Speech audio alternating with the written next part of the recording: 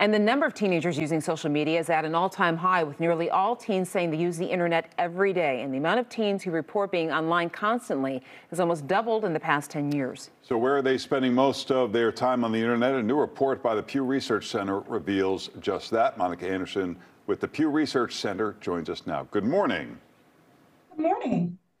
So, I don't think it's a surprise to us that teens are leaving Facebook and uh, Twitter.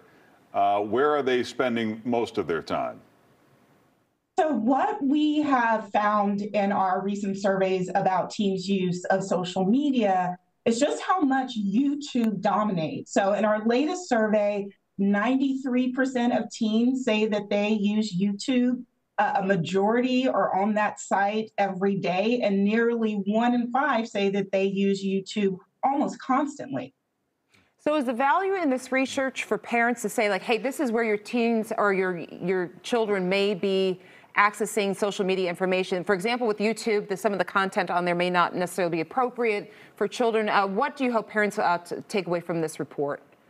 Yeah, I think a, a key takeaway here is that for us to first understand the impact of social media and technology on teens, we have to get an understanding of where they're spending their time.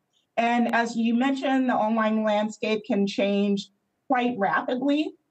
And oftentimes, YouTube isn't in that conversation. So we're hoping that this data, first and foremost, gives teens a chance to share their own experiences, but also lets parents and lawmakers um, and others uh, be able to really kind of understand what the environment is like for young people on these sites. Well, on that note, we just did a story about Meta uh, trying to curtail mentions of suicide and things of that nature in their algorithms. Um, did they do that out of the goodness of their heart, or is that because of outside pressure? Because it doesn't seem like lawmakers have gained much traction in trying to regulate uh, these social media companies. Well, one of the things that we hear from both adults uh, and teenagers is the idea that they do want social media companies as well as the government uh, to play a bigger role in the way that these companies are being regulated.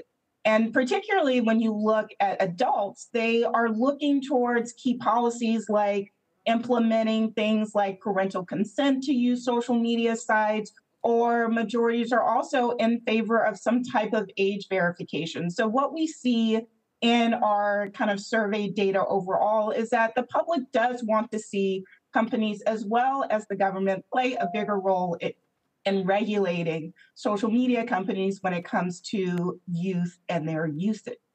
Uh, and just real quick, BeReal. I'm not familiar with that as a parent. That's gaining traction. Just quickly, what is that? So, BeReal is a social media site in which it prompts its users to take a photo at a particular hour. So, you and your right. friends get prompted at let's say 10 a.m. and you all have to post. And so this was the first time that we asked about BeReal in our survey, and about one in 10 teens said that they ever use that site. Hmm. All right. You can check out more at pewresearch.org or check them out on social media. Monica, thanks for joining us this morning. Thanks, Monica. Yeah, thanks so much for having me.